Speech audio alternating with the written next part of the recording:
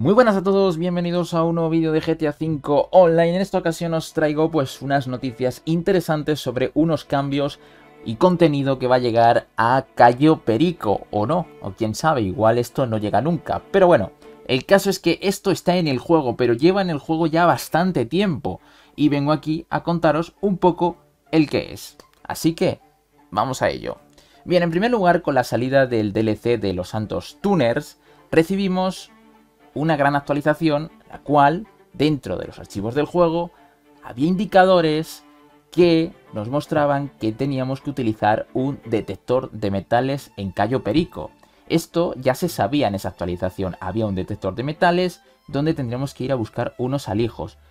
En el código del juego, como podéis ver aquí, lo menciona, además mencionan de que utiliza X tecla para o botón para poder usar el detector de metales, incluso eh, el mensaje de has conseguido un detector de metales, utiliza el detector de metales para eh, poder buscar objetos ocultos en Gallo Perico, pues esto ya estaba en el juego desde la actualización de los Santos Tuners.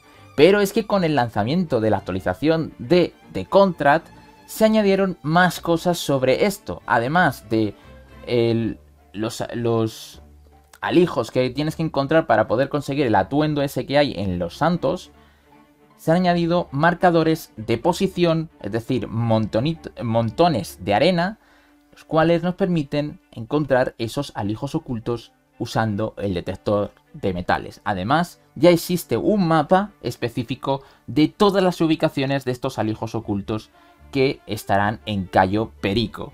Y diréis, ¿y cuánto dinero nos va a dar esto? Pues prácticamente lo mismo que los cofres, 15.000 de 15.000 dólares y 10.000 de RP no es más. Son dos coleccionables por día y bueno, pues todavía no se sabe qué puede, cómo pueden ser estos coleccionables. Porque, por ejemplo, los cofres, hay un cofre en la tierra, es decir, en, sí, en tierra y otro cofre bajo el agua.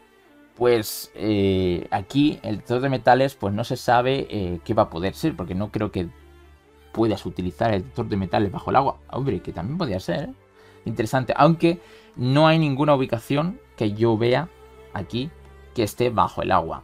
Entonces, ¿cómo funciona esta mecánica? Pues igual que la de Red Online.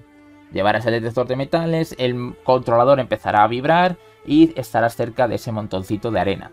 Marcado de posición o como tú quieras. Entonces, excavas y ya está.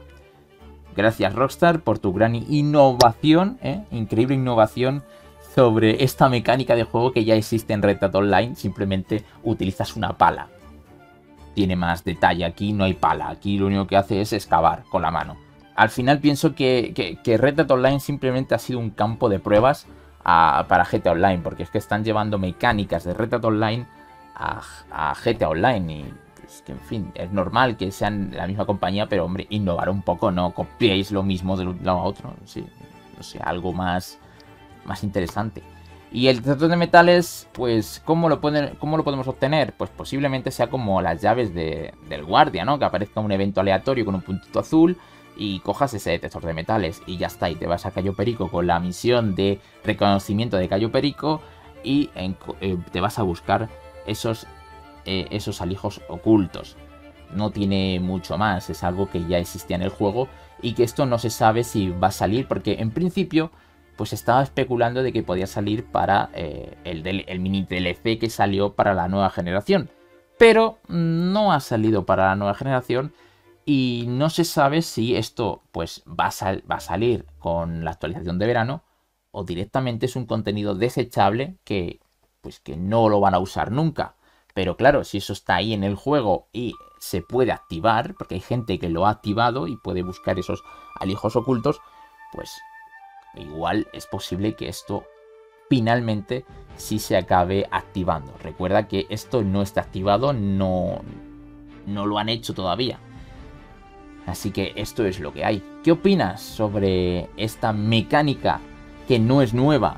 A lo mejor para los que no han jugado nunca Red Dead Online eh, es nueva, pero para los que han jugado Red Dead Online esto no es nuevo. Esto es algo que ya hemos utilizado muchos.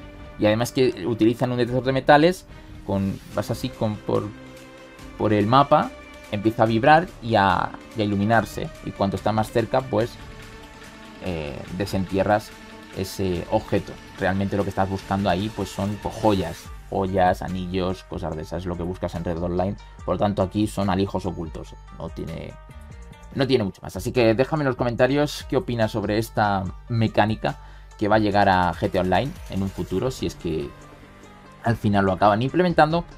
Déjame en los comentarios para vosotros jugadores y nos vemos en el próximo vídeo. Adiós.